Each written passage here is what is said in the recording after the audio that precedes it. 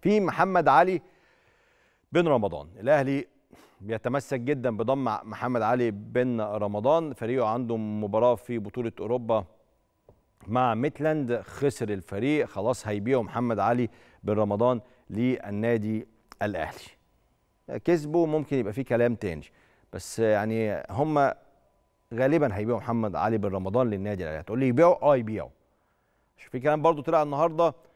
ان الأهلي قد يستعير محمد علي بن رمضان اتكلمنا مع النادي الأهلي وقالوا لنا إن إحنا ما عندناش رغبة في استعارة محمد علي بن رمضان عندنا رغبة في شرائه نهائيا ودي الرغبة اللي تلاقت مع رغبة ناديه المجري إن هم برضو مش عايزين يعيروا اللاعب لو هيسيبوه فهيبقى بمنطق البيع النهائي.